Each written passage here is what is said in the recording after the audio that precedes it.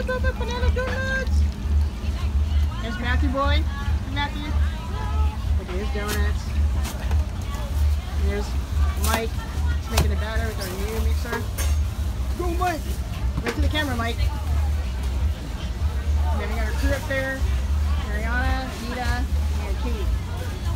Oh, we're putting like 10 donuts, right? This is for mom, yeah.